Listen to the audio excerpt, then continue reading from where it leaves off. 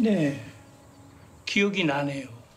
제가 막 출가해 들어갔을 때 거기 부전 스님께서 대여섯 살 먹은 아이 하나를 돌봐주고 계셨는데 이 아이와 흡사한 것 같습니다.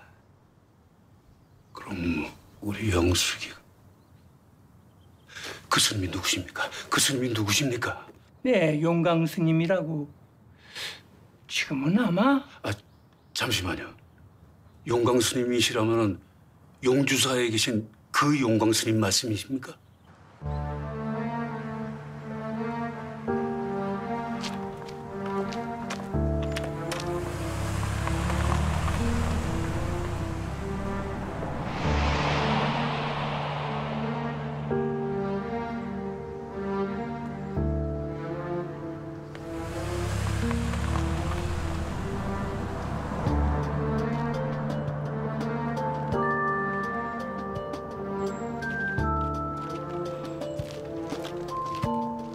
도, 돌아가시다니요?